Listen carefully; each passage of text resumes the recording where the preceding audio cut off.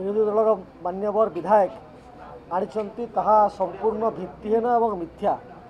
ସରକାରୀ ଦଳ ଏ ବାବଦରେ କିଛି କରିନାହିଁ। ଗୋଟେ ବିବାଦ ବାଦିବାଦ ପରିସ୍ଥିତି ଉତ୍ପନ୍ନ ହୋଇଥିଲା। ରେଭେନ୍ସା କଲେଜରେ ସେଇଠି ଯାଇକିରି ଗୋଟେ ମଶାଲ ଶୋଭାଯାତ୍ରା ହେଇଥିଲା ଯେଉଁଟାକି ବିରୋଧୀ ଦଳର ବିଧାୟକ କଥା ଗୃହରେ କଥା ରଖିଥିଲେ। ଏବଂ ମୁଁ ବୁଝୁଥିଲି ଯେ ଦୁଇ ପକ୍ଷରୁ ଏଫଆଇଆର୍ ହେଇଥିଲା। ସେ ଏଫଆଇଆର୍ ନମ୍ବର ମଧ୍ୟ ମୁଁ ମଗାଇଥିଲି ଯେ one ninety six by two thousand twenty four ଆଉ ଆଉ ଗୋଟେ FIR one ninety seven by two thousand twenty four ଦୁଇ ପକ୍ଷଙ୍କ ଭିତରେ ଏଫଆଇଆର୍ ଦିଆଯାଇଥିଲା କାଉଣ୍ଟର ଏଫଆଇଆର୍ ହେଇଥିଲା ଏଫଆଇଆର୍ କାଉଣ୍ଟର ଏଫଆଇଆର୍ ହେଇଥିଲା ଏଥିରେ ଏପର୍ଯ୍ୟନ୍ତ ଇନଭେଷ୍ଟିଗେସନ୍ ହେଇନାହିଁ ଇନଭେଷ୍ଟିଗେସନ୍ ହେଲା ପରେ ସତ୍ୟ ଜଣାପଡ଼ିବ କୌଣସି ଚାର୍ଜସିଟ୍ ହେଇନାହିଁ କାହାକୁ ଆରେଷ୍ଟ କରାଯାଇନାହିଁ କିମ୍ବା କିଛି ହୋଇନାହିଁ ଏ ଗୋଟେ ସାଧାରଣ ବିଷୟ କେ- କେଉଁ କୌଣସି ଜଣେ ଏଫଆଇଆର୍ ଦେଲେ ଏଫଆଇଆର୍ ଗ୍ରହଣ କରିବା ଏବଂ ଏଫଆଇଆର୍ରେ ଯାହା ତଥ୍ୟ ଅଛି ତାକୁ ଦର୍ଶାଇବା ଗୋଟେ ସାଧାରଣ ବିଷୟ। ଏହି ବିଷୟକୁ ନେଇକି କିଛି ବାଜିବାର ଆବଶ୍ୟକତା ନାହିଁ।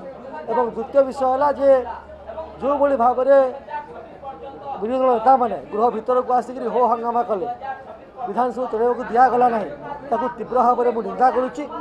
ଆମର କେନ୍ଦ୍ରମନ୍ତ୍ରୀ ଆମର ସମସ୍ତ ବରିଷ୍ଠ ନେତା ଏବଂ ଆମେ ମଧ୍ୟ କହୁଛୁ ଯେ ରେଭେନ୍ସା କଲେଜକୁ ନେଇକି ନୁହଁ ରେଭେନ୍ସାଙ୍କର କୃତକାର୍ଯ୍ୟକୁ ନେଇକରି ରେଭେନ୍ସାଙ୍କର କୀର୍ତ୍ତିକଳାପକୁ ନେଇକରି ନିଶ୍ଚିତ ଭାବରେ ବାଦ ବିବାଦ ତର୍ଜମା କରିବା ଆବଶ୍ୟକତା ଅଛି।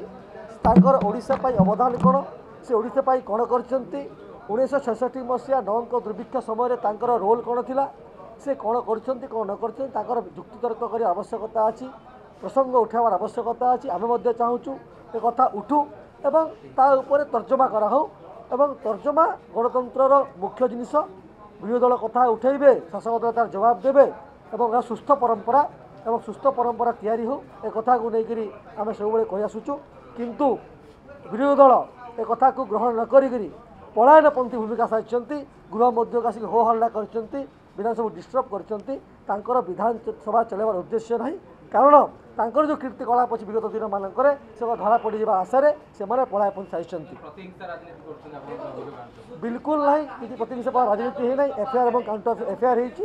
ଏଫଆଇଆର୍ର ସ୍ୱାଭାବିକ ପ୍ରକ୍ରିୟା ଜଣଙ୍କ ନାଁରେ ଏଫଆଇଆର୍ ଦେଲେ ଏଫଆଇଆର୍ ରେଜିଷ୍ଟର ହୁଏ ଏବଂ ଏଫଆଇଆର୍ ଯାହା ଯାହା ଲେଖା ହେଇଥାଏ ତାକୁ ନେଇକରି ଆକ୍ଟ ହୁଏ। ଏଥିରେ କାହାକୁ ଏଇଟା କିଛି ଅସୁବିଧା ହେଇନାହିଁ ଏବଂ ନିଶ୍ଚିତ ଭାବରେ ଯେଉଁ କଥା ରେଭେନ୍ସାର କଥା ଅଛି ଯେଉଁ କଥା ମୁଁ କହିଲି ତାହାର ତର୍ଜମା କରିବା ଆବଶ୍ୟକତା ଅଛି। ଏ କ- ଏ କଥା କେନ୍ଦ୍ରମନ୍ତ୍ରୀ ମଧ୍ୟ କହିଛନ୍ତି। ବରିଷ୍ଠ ନେତୃବୃନ୍ଦ କହୁଛନ୍ତି ମୁଁ ମଧ୍ୟ କହୁଛି ଧନ୍ୟବାଦ